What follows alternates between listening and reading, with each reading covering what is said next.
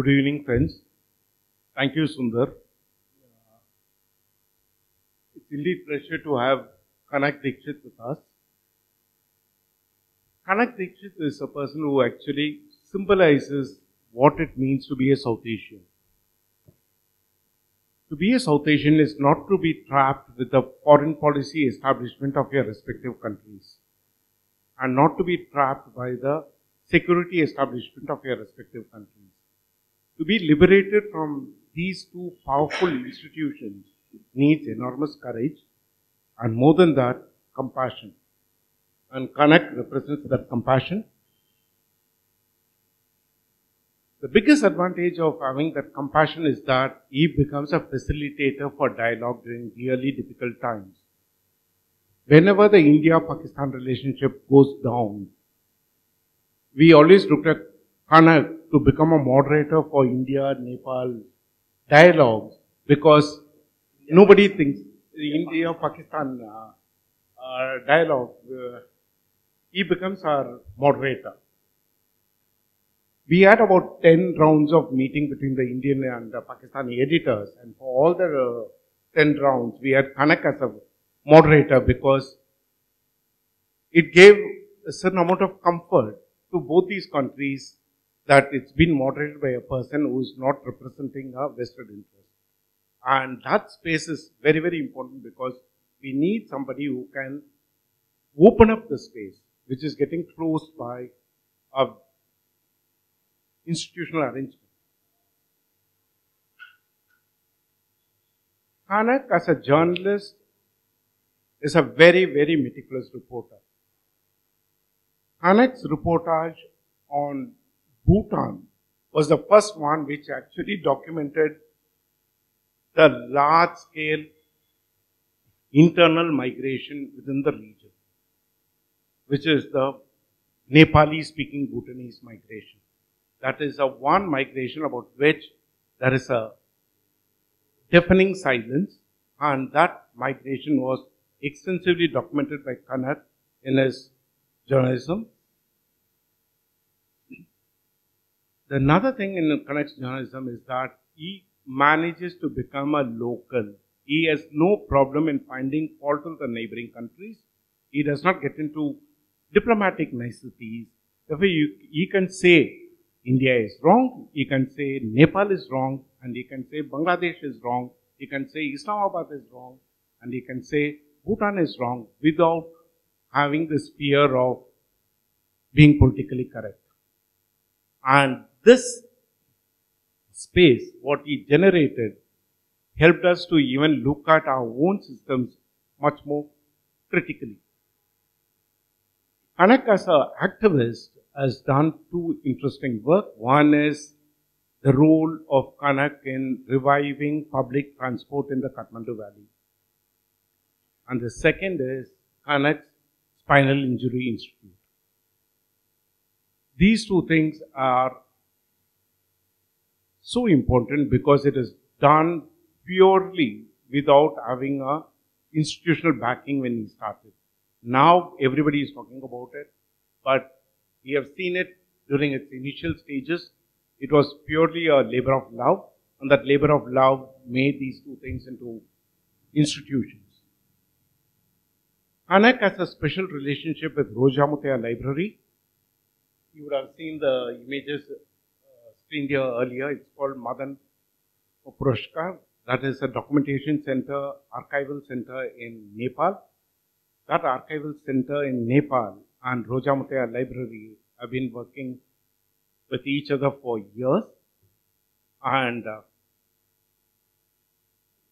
people in Madan Puraskar always consider that it was Roja Muthiah uh, which gave them necessary tools to their uh, to do their own documentation, and they always feel that they assist sister organization to RMR. And thank you, Kanak, for coming, and over to Kanak.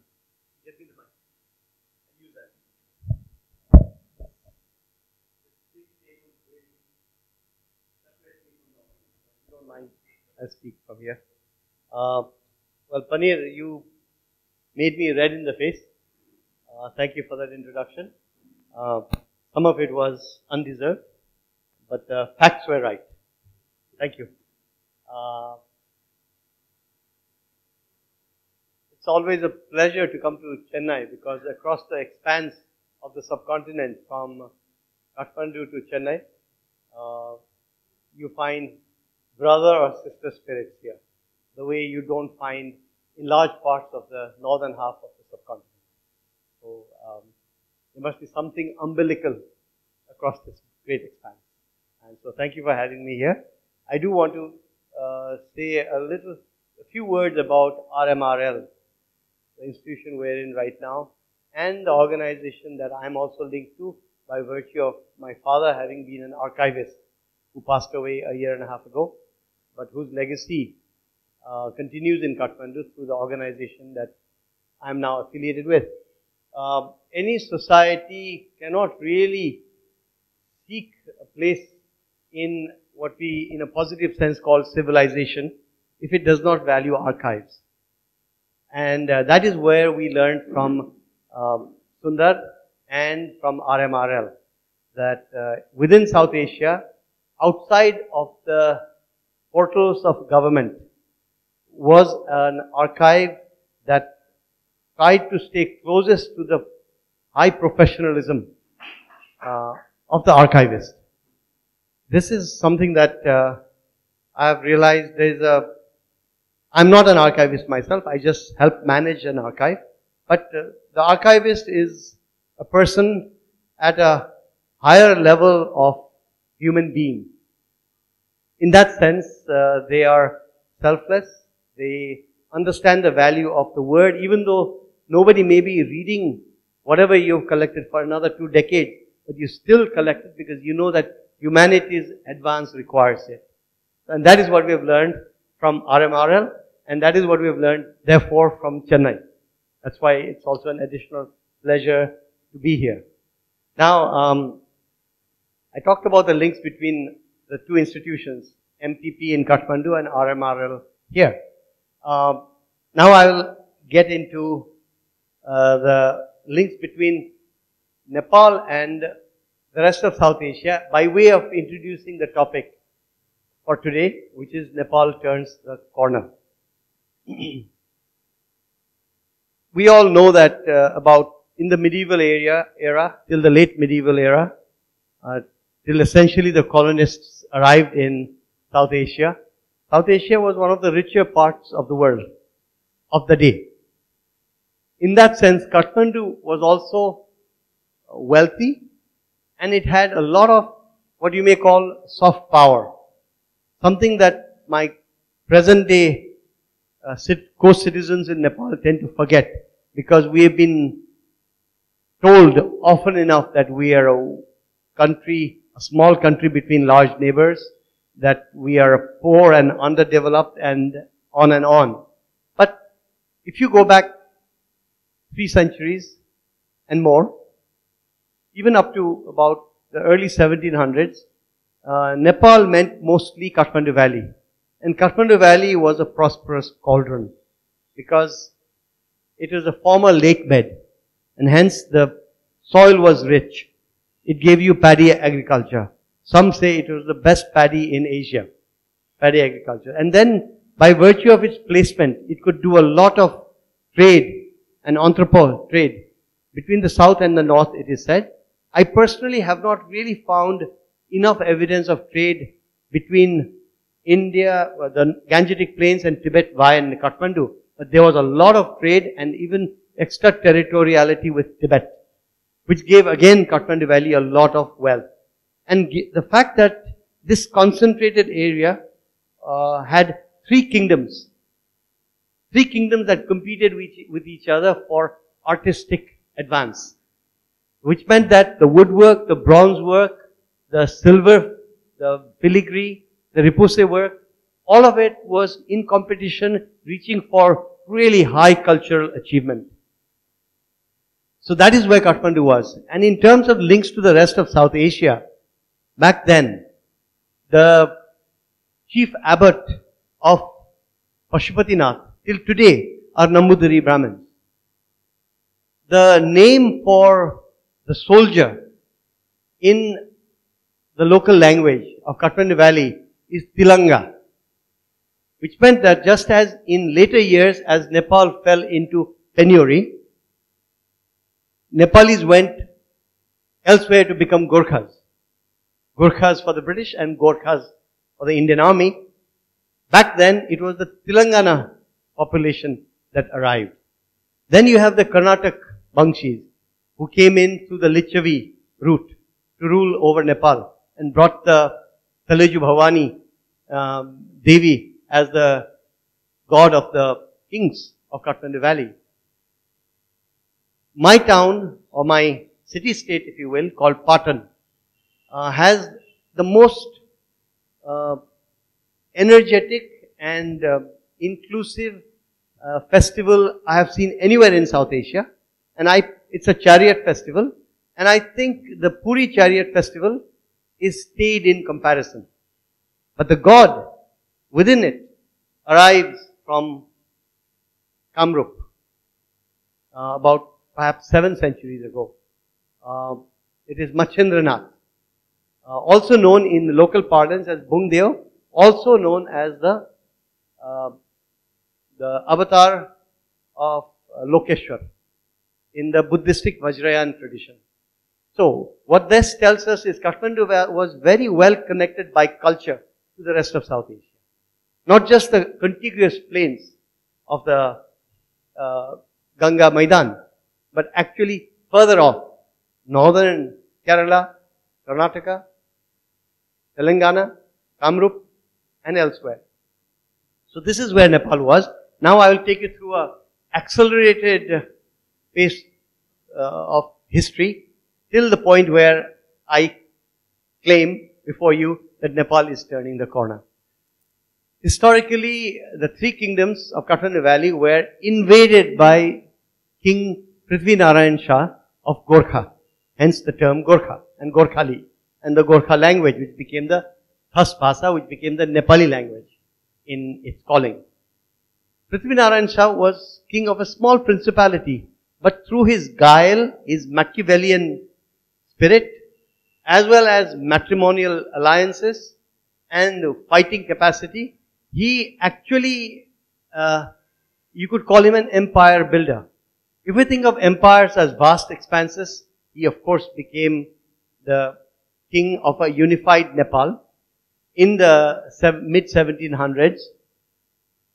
Uh, but if you think of the terrain of Nepal, as the uh, economist Mahesh Chandra Regmi writes, it required an empire building capacity to unite Nepal back then.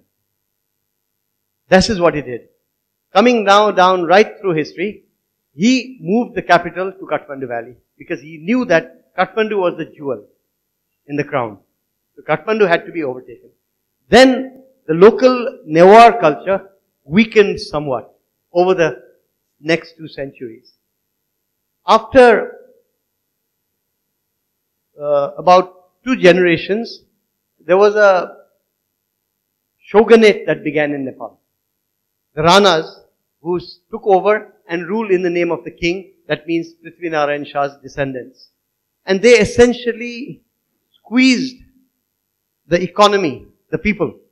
Firstly for some expansionary wars, and then for self-aggrandizement and building massive palaces and slowly converting themselves into, from these uh, hill fighters to uh, very uh, uh, sophisticated, Europe, almost like European sophisticates.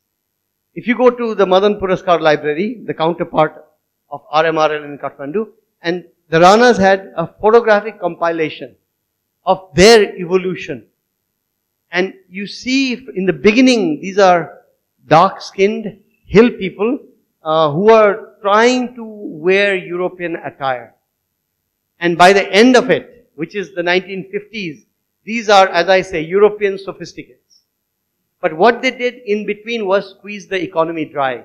And the process of Nepalis going out of Nepal to work began because of the penury that was foisted upon the Nepali people. Very well documented by a, a Jesuit padre, uh, Ludwig Stiller.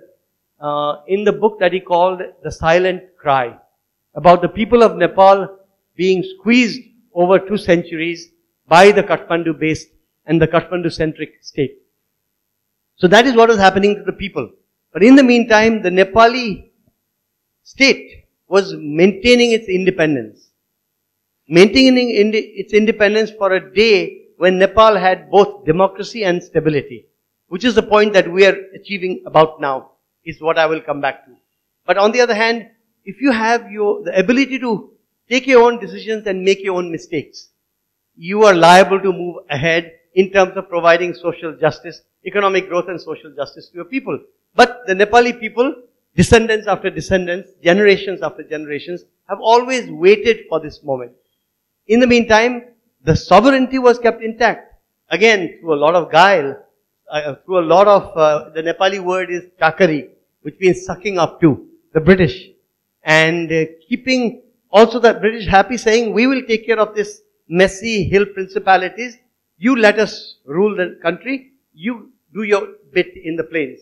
That was the kind of gentleman's understanding between the Shah rulers who came later, but then mostly the Ranas and the British viceroys. So, that is how it moved. The Rana family became richer and richer. The people became poorer and poorer. Uh, but the sovereignty was maintained for a future date, as I like to say, when you could utilize that sovereignty for the sake of agency, for the, on behalf of the people. Came a gentleman named, uh, one of the Ranas, who consolidated the Rana hold on the economy and the polity. His name was Jang Bahadur. The way Jang Bahadur did this was, he, firstly he went to Europe. He became the first South Asian, as they called it in the British Library, the potentate. If you go to the South Asia reading room in the British Library, formerly the India Office collection, the centerpiece of the uh, paintings of uh, South Asian potentates is the is Jang Bahadur. He went to England to see before any other South Asian prince or princeling or king had been to. This was in um, the mid 1800s. He went there specifically to find out how much weaponry and how much firepower did the British have? And what should be his plan vis-a-vis the British as they were expanding into the Gangetic Plains, moving on westward. He realized that you could not the, fight the British. So he came back and one of the first things he did during the Sepoy Mutiny was to come directly to the support of the British, which made the colonizers beholden to Jang Bahadur and the Ranas and Nepal for a long time to come. He took his contingent, he personally led it into Lucknow and even what many people don't know, into Benares. And he came back. And it is also said a lot of the loot that ended in the, in the, ended up in the crown of the Nepali kingship was loot from Awadh. At the same time though, what he did was he managed to provide refuge to Begum Hazrat Mahal and Nana Sahib when they were fleeing. So here, on the one hand, he was helping the British, but on the other hand, he was saying, my sovereign status allows me and uh, requires me to give refuge to those that come seeking refuge. And that's why Hazrat Mahal is presently buried in her mazar next to the clock tower in Kathmandu. Then comes, we jump about three generations, we come to Chandra Shamsher. In 19, uh, he ruled longest for a Rana Shogun, and essentially he was a ruler in the name, ruling in the name of the king from 1902 to about 1923, if I remember correctly. In 1913, he was able to reach out to the Governor General. By that time it was a Governor General, was it still a Viceroy? I forget.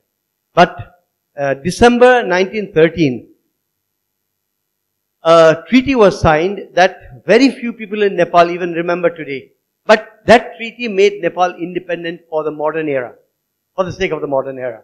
Because it made Nepal getting more salutes than the, I think it was 18 or 22. I'm not a historian, so I can only allude to it. You will have to, if you're more interested, you can go deeper into it. But he got more salutes than all the other Indian princely states. And the signature on that meant, implied that Nepal also became independent during the British times. So when 1947 came along, And when it is said Vallabhbhai Patel, for example, was for subsuming Nepal within, within, uh, the Indian Union, uh, this treaty would have come up against such a plan. But more importantly, and the uh, next person to keep in mind when we talk about this, and the last person to keep in mind when we talk of this run of personalities from Prithvinarayan Shah, Jang Bahadur, Chandra Shamsher, you come to BP Koirala. And his generation. His generation, they realized that until the British leave India, there is no hope of ridding Nepal of the Rana. So they fought alongside the Brit, uh, the independence fighters, became independence fighters for India, went to jail with Rajendra Prasad, etc. So what happened is that this is something that I have not read elsewhere. This is my belief that the bonding that happened between Jawaharlal Nehru and his peer group and the Nepali, what you may call them, the freedom fighters, freedom fighters for both India and for Nepal, that bonding would have given Nepal a cover as Nepal moved into the modern era, which was the fall of the Ranas. So Nepal's modern era begins in 1950. And that is when uh, many reasons that Nepal remained independent, but I personally feel the primary reason may have been, or a, a good contributory re- uh, factor may have been the socialization between India's first category of rulers and uh, BP Koirala's peers from Nepal. That would have provided the cover so that whoever else might have wanted to bring in Nepal like Hyderabad was brought in. Hyderabad as a much more powerful and richer uh, princely state. Nepal remained. Now, now to come to the present. What happened since then and why do I think Nepal has turned the corner? Uh, firstly, to go back to Father Ludwig Stiller, who was also my teacher, who came from the US, lived in Nepal, became a Nepali citizen and wrote A, the book called The Rise of the House of Gorkha, and secondly wrote the book called The Silent Cry. This silent cry of the people of Nepal continues to this day. Why? Because firstly, you had expansionary wars where there was excessive taxation of the people. Then there was a family, an autocracy, an oligarchy that sucked the country dry. Then after that, you have the modern era which begins in 1950. So to quickly run through the modern era, 1950 to 1959, political parties that had suddenly come sprouted and the Ranas fell and uh, the royal palace was playing games, New Delhi was playing games and there was always an instability. Finally the elections in 1959. So Nepal for the first time got democratic governance which in my view is absolutely essential in the context of Nepal. People do say, oh, Bhutan, look at Bhutan, or look at Singapore in Nepal all the time. And Nepali leaders are always promising, we'll make Nepal a Singapore and a Switzerland. But now they've finally stopped saying it for various reasons. But for the, in the case of Nepal, it seems clear that for the kind of uh, complex society that Nepal is, with the diversity the, in ethnicity, the diversity in flora, fauna, in geography, the diversity in altitude. This is something no other country has to say. Nepal has got altitudinal diversity. That also impacts so much of its quality. In all of this, Nepal can only survive in stability and democracy. Not one without the other. So those who say we need a Lee Kuan Yew, and there are enough people in Nepal who say we need a Lee Kuan Yew, that Lee Kuan Yew is not able to sort out Nepal's problem. We need a messy democracy, nothing else, nothing more and nothing less. In that context, what happened was Nepal arrived at the point of democracy in 1959, but it was with BP Koirala as Prime Minister. That was a time when Nepal was suddenly part of the world stage and the Nepalese, whoever understood international politics was seeing that here we have a leader at par shoulder to shoulder with Sukarno, with uh, Lai, with Jawaharlal Nehru, also a member of the Socialist International. And this man will now move us ahead uh, into, not only into the Committee of Nations, but towards full-fledged uh, democratic values infiltrating the country. And if you look at his first ministry, his first cabinet, the most inclusive cabinet, we have not had such an inclusive cabinet till today. And in his wall, was a picture of a Nepali peasantry to remind him every day that that is why I am Prime Minister. To serve that peasant. It didn't work out that way because King Mahendra conducted a coup with the help of the army and uh, put uh, BP Koirala in jail. Later he went into exile. Again, to come back to what I think, uh, why I think we may have turned the corner, we have to pick up the agenda that was missed in 1959, to pick it up today. Uh, that is the theme of my presentation, of course, and uh, I'll now move on with the progression. So after 1959, all of 18 months, the Panchayat regime began. It is a royal autocracy. And there are some things that the royal autocracy did. Okay, it kept the sovereignty intact. But that doesn't mean that the democracy, Democrats would not have kept the sovereignty intact. Uh, there are certain things in, for which King Mahendra is given credit for. But he could never be what a democratic leader could have been.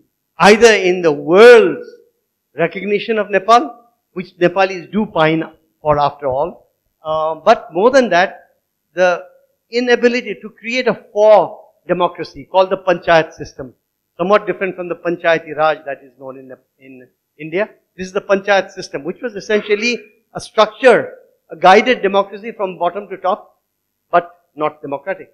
So hence, for 30 years, Nepalis could not act on their genius as uh, citizens of Nepal.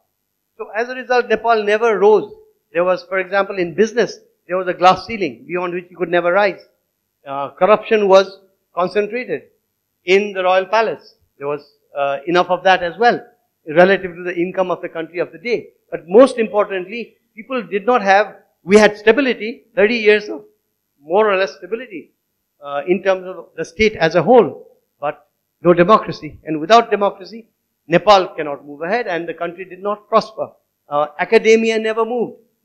Schooling never progressed. You, we had numbers. We had uh, school in, increase in numbers, but not the, the quality of the schooling, nor the sensibility, the ethic, the morality, the democratic values, which meant that 1990, every 10 years Nepal would come to the boil. 1990 was the real departure. As I wrote in an article only last week, as we move towards implementation of the Constitution of Nepal 2015, which is helping us turn the corner, we must remember that the Nepal's entry into the real modern era in terms of values was the Constitution of 1990. Krishna Prasad Bhattarai, a, a fighter at uh, shoulder to shoulder with BP Koirala, a Congress party leader, was the prime minister. And the Constitution of 1990 gave us universal suffrage. It gave uh, uh, Nepal uh, freedom, the fundamental freedoms. Uh, as a result, press freedom, freedom of assembly, freedom of religion, the whole gamut, which Nepalis have taken for granted now. And this is the beauty of the 1990 constitution that we've taken it for granted. That we don't even talk about a 1990 constitution, in my view, is proof of the success of that constitution. That those are given as self-evident proof. That we don't even have to talk about it, it's part of our being. But then what happened? 1990 was when Nepal became uh, a democratic country, a constitutional monarchy. But within five years, the Maoists, who were at that time a fringe party, who had tried to fight through the electoral process and realized that they were not getting any votes, they decided to use the romantic, romantic leanings of a uh, ill-educated youth populace all over the country, the geography of the country which is made up of Vietnam's forests and Afghanistan's ravines. As a result, ideal guerrilla territory when there is no roads from which uh, the state can counter. So Nepal then went into a 10 year conflict where the Nepali people, the long suffering Nepali people saw violence, physical violence enter their lives like never before in their history. Now this seems to be a tall claim to some. And some people will tell me, but there was always structural violence, gender violence, inter-ethnic uh, and Kathmandu centricism, caste violence from the higher caste. All of that is true and those are to be tackled. And the 1990 constitution opened the doors to tackle such things which would happen with through the practice of democracy and an active civil society. But that was not allowed. It was suddenly a short circuit was uh, implemented in 1990, February 1996 when the Maoists went underground. And essentially what we are coming out of now is something that was triggered back then. Ten years of war and when I told you that the, the kind of violence that visited the villages, because the Maoists were hit and run, right? They never actually controlled any territory. Their propaganda, which a lot of the Western scholars picked up, was that the Maoists controlled 80% of the territory. No. The state was in control everywhere, and the Maoists, what they did was utilize the terrain, hit and run, in and out. In that sense, the, then the state came down with harsh measure, measures. You could call it a scorched earth policy. And so the people were caught in a pincer between the Maoists who came in at night and the soldiers who came during the day. And the excesses began, what you would call the, the war crimes, the crimes against humanity, the abductions, the murders, the extrajudicial killings, the torture.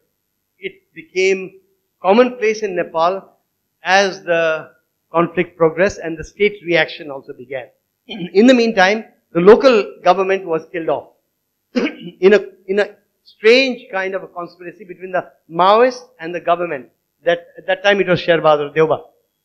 So, there was nobody to protect the people. And so much violence committed on them. Why do I say it was more than ever before? because earlier, the, Nepal was indeed very violent, but the violence, the physical violence was concentrated in the court. What is, to give you one example, what is known as the Kot massacre was a massive bloodletting which brought Jang Bahadur to power. Likewise, everywhere there were shenanigans and killings at the court, including from the Malla, Malla and the Licchavi era. But the people were left largely alone.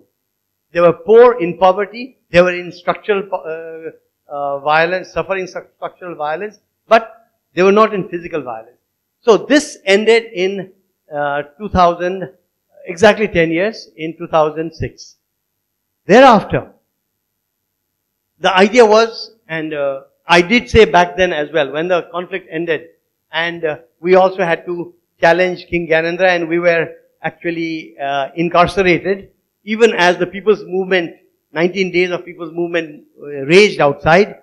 Uh, at that time also I wrote Nepal turns the corner. And I have written Nepal's turned the corner a few times by now. So you will have to take it with a pinch of salt if you prefer. After I make, I finish my presentation to see whether it's one more uh, false alarm. Uh, but I have my the evidence which I will now marshal before you as to believe that Nepal has turned the corner for now. So what has happened is after the Maoists came above ground, uh, we had an interim constitution. The Maoists came above ground when Girija Prasad Koirala and Girija Prasad Koirala gave the Maoists as much seat as his opponents in open politics, the UML party, that's the mainstream left, uh, Communist Party of Nepal, United Marxist Leninists, as many seats for the Maoists come above ground as the UML had. And I think that cleared the pitch for the uh, years to come. Because suddenly the Maoists came above ground and they had the full ability of propaganda and also the complete ability to put, instill fear into people. So, for a while, they even tried to put together a constitution that resembled the constitution of North Korea. But that didn't work out. But nevertheless, they were fast footwork of people who have also been uh, fighters. But more than fighters, they have been opportunists, in my personal view. So they were able to distort the politics as they came above ground. And democratic values uh, was put on the side and what is known as consensus politics. because at that time, suddenly the Gora Sahibs, the Western development agencies who had so much money and hence so much clout in Nepal, they decided that Nepal is a country where they could experiment with peace building. So starting with an entity called United Nations Mission to Nepal, um, and then various other agencies, they just picked up any educated Nepali uh, who could write a fairly good sentence in English and made them into consultants. And Nepal lost a whole slab of intelligentsia at that time who would speak truth to power or speak truth to populist power. So, during this period, what happened therefore was, on the one hand, we had to land the Maoists into open society. On the other hand, we also had to tackle the inter-community divide that suddenly came to the fore. So, as far as the Maoists are concerned, you just need to remember one point, that the Maoists did not raise the gun against the king's rule. This is what the world seems to understand. The Maoists picked up the gun against a democratic state, which happened to be a constitutional monarchy. The royal palace was indeed playing games with the democratic state, but the Maoists did not pick up the gun. If anything, they had a kind of a collaboration behind the scenes with certain members close to the royal palace. Just as they may not have taken help from the Indian state, but they had links within certain elements of the Indian state as they got active in Nepal. So when the Maoists came above ground, they, the, we had to have, uh, they needed a stop. So what is the stop that they took? They said, we have fought in the name of class warfare, and here now we've come above ground. What do we tell our cadre? What do we tell our fighters? They had uh, about 8,000 fighters, but they bamboozled the UN to confirm 38,000 or 33,000. And uh, the state then had to take on that burden. So the, the Maoists coming above ground meant that they needed also one other point. We need a pound of flesh if you want to go back to democratic uh, state. And we've come above ground. We've got a, quite a lot of clout. We got the power of propaganda that you guys don't have. So the compromise that was reached was one republic. The people's movement of Nepal did not demand a republic. The people's movement of Nepal, as I recall it, because I was part of it, and it's very politically incorrect to say this, but they demanded a democratic state because at that time Gyanendra had tried to, had conducted a coup against the democratic state at that point, taking advantage of the Maoists in the jungle. So, one is to make Nepal a republic so they could tell their cadre, we've got yourself a republic. That's, that's good. And the second is uh, a constituent assembly, which is something that the Nepali Congress had demanded uh, back in the 1950s and had not been granted. And uh, my personal feeling is that the 1990 constitution would have been adequate, but it was a fait accompli, what was achieved. Because an interim, interim uh, parliament declared Nepal a republic.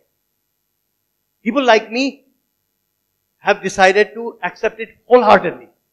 Even though we did not fight for republic, we fought for, fought for democracy uh, without going into the uh, reconstruction of the state. But now that it has happened, we accept it. There are some individuals that and forces that don't accept it. And there are some fears that Nepal might go back to being a Hindu kingdom, which it cannot never be uh, because 20% of the population, by self-definition, are not Hindu. So how can you be a Hindu state? That is the other point which becomes a geopolitical factor in Narendra Modi's India. That's a separate point if there are questions later. So now let's go back to the timeline to bring you to the present and why I believe we are turning the corner. So, 10 years of conflict and thereafter two constituent assemblies. One failure, another constituent assembly. And that period is marked not only by Nepal's declaration uh, on paper as a republic and as a secular state uh, and as a federal state without the federal provinces have been defined. But it was declared as a federal state. All of these points, just so that you don't get me wrong, because I did say we did not fight the people's movement for these quote unquote achievements, but I accept it in toto because we have to move ahead and we cannot be going back to a situation which we have accepted as a fait accompli. The polity has accepted. The people have gone into two elections since then, which means it has all been accepted. The first constitution, constituent assembly was utilized in landing the Maoists. The second constituent assembly was utilized in trying to tackle the inter-ethnic and inter-community divide, particularly the one that dealt with ethnicity versus the high caste of Brahmins in particular that rule Kathmandu. Secondly, the Madhesis of the plains who have been challenging the authority and the statist uh, attitude of Kathmandu Valley. Again ruled mostly by people of Brahmin origin, hill Brahmins. Right? So in all of this, the question was paramount in the minds of people was will uh, provincial the provinces have to be delineated now. So how do you delineate the provinces? How do you make sure that there is an inclusive state? The challenge and the problem of the last 15 years has been that the state could not be inclusive because politics took on a very strange turn. Everything would have to be done now by consensus. Nothing through, not through political competition, but by consensus. Which meant that at the top there was a revolving door among the leaders of the Maoists, Congress and UML. And at the second level, the Madhesbadi parties. So suddenly it was revolving door and everybody knew each other very well. And so, if not you, then me. If not me, then you. This, in my view, took away the soul of democracy for the last 10, 10, 10, 8 years or so. What has happened now is, the constitution was finally written. It was, uh, it was uh, promulgated in September 2015. I should make one other point though. In the last eight years, the other thing that derailed much of Nepali politics was foreign interventionism. That foreign interventionism came in two ways. One is India or Indian hands or Indian entities, one never knows which entity is actually speaking in the name of India, got overly involved in the constitution writing process, uh, forcing it into the slipstream using various powers that India does have with a neighbor, that too with an open border. As a result, I could say this, with Indian influencing, there was an attempt to divide Nepal's federal provinces into, in the hills you may do whatever you want, but in the plains it has got to be one province, 20 miles by 500 miles long. Like a long, you know, line of the Peru's coastline. It was not going to work but it was supposedly meant to be a buffer. And there has never been actually, in my recall, recollection, the kind of security threat to India that he needed that. Then, in the second Constituent Assembly, the idea came that we'll need two provinces. So the provincial issue and the interest, apparent interest of Indian authorities of some entity or the other, wanting to have a kind of provincial demarcation supposedly in India's interest. That roiled the waters. Where the Madhesi people, or at least the Madhesbadi politicians of the plains of Nepal, also got mixed up in all of that. Which also resulted uh, in the blockade of uh, five month long blockade of 2016. Now, we come back to the end of the second Constituent Assembly. The Constitution was written. This Constitution was written not by scholars or jurists or lawyers. It was essentially prepared by politicians. When I mentioned earlier uh, foreign interventionism, I did mention India. Let me also mention what in Nepal are uh, all-powerful force is the donor community, the Western donors, who realized that Nepal was a country where you could actually uh, get involved in politics. Other other places you build bridges and you provide uh, oral rehydration salts. But Nepal was so open to the world, um, and the Nepali Kathmandu middle class was so romanticized by the West for not having been a colonized society that they, the West could do no wrong. So they infiltrated the Nepali constitution writing process as well and also helped delay it by providing funds for activism which should have been left to the Nepalis alone because the moment you have donor funded activism, it becomes shrill and uncompromising. And that also delayed things a bit. But in the end, you could say in a way, Nepal landed feet first. You could also say that this was due to the sheer sagacity of the people of Nepal and not the politicians themselves, although I do give Nepali politicians more credit than my colleagues tend to in Kathmandu. If there is a question on that, I'll answer it later. So, how do we land feet first? Um, the enormous amount of pressures on Nepali society, what you would call fissiparous tendencies, class-based, altitude-based, region-based, east-west based, all kinds of problems. All of these were looking like they were intractable. What would happen to this country which has so much going for it in terms of natural resources? I would suggest that um, this is my personal view that the Nepali people have an innate sense. Give me another five minutes, Sundar. Okay. Um, Nepali people have an innate sense, without any economist telling them so, that the economy, sorry, the, the geography has an, has the kind of natural resources that would provide growth in Nepali, uh, to the Nepali people. That they would provide livelihoods at a high level relative to the rest of South Asia, in particular, uh, the contiguous parts of South Asia to Nepal, which is the Uttar Pradesh, the Ganga states, and then uh, the Ganga Maidan, as well as Sikkim and uh, Uttarakhand. So they have been waiting. And then I go back to my earlier point. They have been waiting, knowing that this country has some abilities to pay back. If for historical injustice, regardless of what your ethnicity or your altitudinal uh, provenance may be. The reason I say altitudinal is because the Madhesi population is of the plains. And the Madhesi population actually suffered a double whammy.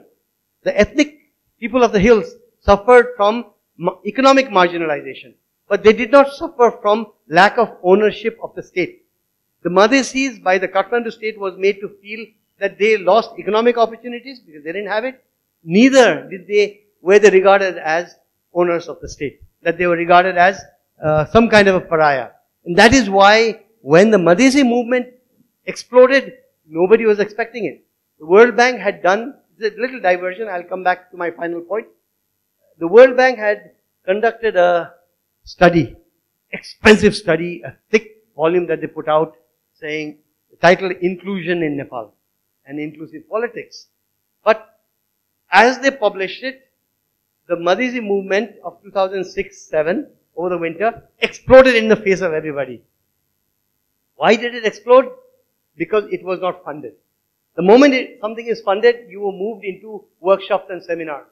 The one reason I believe that the Dalits of Nepal, hill and plain Dalits, who have the more right than anybody else to have a movement that, barring anything that should, that is violent, which I would not, of course, support, if any movement was required, it is a movement for Dalit emancipation. But because the donors already knew about Dalits from India and the rest of South Asia, as they arrived, they're already funding the Dalits and, and hence the workshops were all, you know, moving on, but there was no activism on the ground. But the Madhesis, at that point, as proven by the fact that this World Bank report, all about inclusion and trying to target the Kathmandu state, had forgotten the Madhesi. There was no reference to Madhesi. And the Madhesi movement came up because nobody was funding. It was really from the heart, from the people's sense of disfranchisement and marginalization. Now, to come back to my, let's say, the end where I feel that we have landed, uh, this constitution, uh, for a while we thought, especially in the latest instance because of the Madhes Pahad divide, hill plain divide, and the Kathmandu versus the Madhesi leadership, Madhesi political leadership divide, we thought, what would happen? But in the end, at the penultimate moment, you had uh, the Indian Foreign Secretary coming in a week before, uh, or less than a week before the constitution was to be promulgated, asking that you postpone it by a few days. Anything could have happened if that postponement had happened. It could have, again, we'd have gone into another limbo. The Nepali leaders, I believe they were sagacious to do this, rejected that appeal. He came in as one of the political leaders said, like a viceroy, uh, wanting, and the body language was all wrong, and the demands were not appropriate to where Nepal was at that time but the constitution was promulgated. Um, it's a constitution uh, that is a result of enormous levels of, um, what shall we say? It's a constitution that gives everything to everybody. There are some problems with it, particularly in relation to women's citizenship, uh, mother's ability to pass on citizenship. But otherwise, and those things should be sorted out by amendment. And many things should be sorted out by amendment because we actually don't know how are we going to implement this. This document because it is a thick document full of promises. And many, many constitutional commissions and uh, all kinds of social justice issues uh, announced as given. But the question now is to firstly to adopt the laws it, and secondly to go about and make sure that the bureaucracy owns it, the very framers of the constitution that they own it, and that we start studying this document to see where are the amendments required and what uh, can be done with the inconsistencies in a document as prepared by politicians. That there are contradictions throughout the pages. That having been said, this constitution uh, does provide for a three-tier government. If that is made to work and not three tiers of governance but government local government of uh, which runs a, through parliamentary process provincial government that works through parliamentary process and the national government. So there are three lists like what you have in india are two lists. Concurrent list state no three concurrent state and center in nepal in that sense there are four center uh, province as we call it and uh, local entity or local government and concurrent. Now, there is already a problem in the vagueness in the concurrent uh, list vis-a-vis the direct list. So, the civil society in Nepal will have its hand full. And uh, if we just sit back, then there will be problems in the implementation of this constitution. But Nepal has come back from the edge many times. I personally feel that this constitution has got to be made workable. And in making it workable, uh, we, the political class has learned its lessons of what the public, how the public regards it and what may be expected of it. More than anything else, what I am hoping, and it can't be just to, it, it can't do just to hope. One has to work for it, is to really make sure that the local government in particular is able to deliver the kind of services that the Nepali people never had. For example, when the earthquake struck in 2015 April, April 26, if Nepal had local government, we would be way ahead, both in search, rescue and rehabilitation. Nepal is foundering till today, nearly three years later, in the post-earthquake reconstruction. So, in every way, I think that the, the state has been restructured uh, the Nepali public as a whole has suffered through quite a lot. You could say that in terms of uh, the polity having uh, experienced so much, I would used to tell my Bangladeshi friends in particular, um, back in the early 1990s, that in Nepal we have got democracy on a platter and we have not protected it enough. Whereas you guys have gone through such horrendous times from the partition to 1971 liberation war.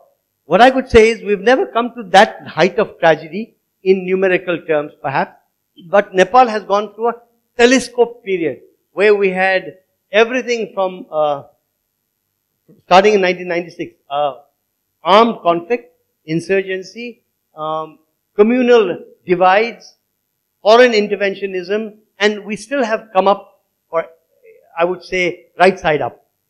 I wouldn't say just for air. We have come up right side up. Now the idea is, can you take the country back to the aspirations that were clearly expressed in 1959 and again in 1990? I believe that it will happen if civil society is able to fulfill its preconditions. Because Nepal's civil society, some of it was corrupted by donor funding, uh, some of it was corrupted by fear of populism. Some of it was corrupted by party affiliations. As a result, civil society was not playing its role and hence the politicians were not able to deliver the way they should. Now we need civil society, but not only in Kathmandu, we need civil society active. And I would say, for me, civil society means everything from an archive to human rights activists. So, we are trying to promote archives like RMRL, like uh, Madan Puraskar Pustakalaya in seven provinces of Nepal. So all of these things have to happen. For that, the Nepali public have shown their sagacity. My belief is that A, you need Nepal to be left alone to make its mistakes. That Nepal has made a lot of mistakes as a society. It has learned from it perhaps, but it can still do, do with some more learning. For that, if there is meddling, then certainly it won't work. On the other hand, uh, my sense out of the last uh, month, all of a uh, well, last three months has been that you needed three elections to get to this point. Elections at the local level, enormous problem that you had to do it in three stages. Local level elections, including through interventions and all kinds of dissonances. Manage that. Then you had to have provincial elections and national elections. Now, in that sense, the constitution is ready for full implementation. The prerequisites were three elections. So now the entire country has got elected representatives in the local government, in local government meaning village and uh, town. Then you've got uh, uh, provinces, and then you've got the national legislature. Everything is in place, and in a in a surprise move, Nepal suddenly had the two left parties, one the Maoists and the UML, collaborating uh, for government uh, to run the government, and they did very well in elections. So now, for the first time in 20 years, uh, Nepal may have a government that has a minimum two years to function and possibly five full years. Things have become so bad in Nepal that nobody believes that you can actually have a government for that long. People have been socialized into thinking every government is there for seven, eight months, then either they have fighting, infighting, or India will intervene, something will happen, and it's gone. So there was no sense of continuity in government. It seems that this is the critical factor, that there seems that to be possibilities of, good possibilities of continuity in government for a full five years.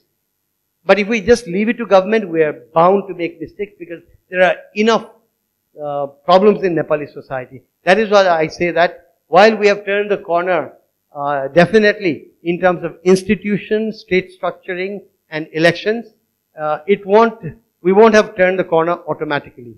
And I'll use the very boring term, but one that counts, I believe. You need civil society to ensure stability and ensure democratic governance.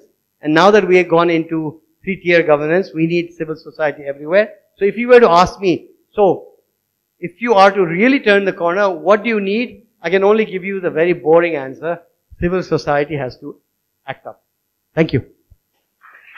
Yeah, I'd like to thank all of you and uh, uh, Kanak Dixit and uh, for this wonderful uh, evening, uh, giving us insights of Nepal.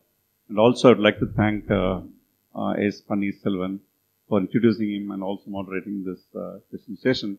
Thank you very much, Panneer.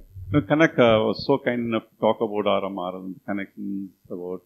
I must also uh, thank him for another thing, which is, but for people like Kanak, I think some of us would have quit the job of archiving. So I, I, sincerely want to thank you, Kanak, for that. And also your father, um, legendary Kamal Mani Dixit. I have not seen Roja Muthiah. Roja Muthiah died in 92. The library was started in 94. So I only know Kamal Mani Dixit as Roja Muthiah. So I had fond memories of this great man. Thank you for coming here and giving this wonderful lecture. Thank you all.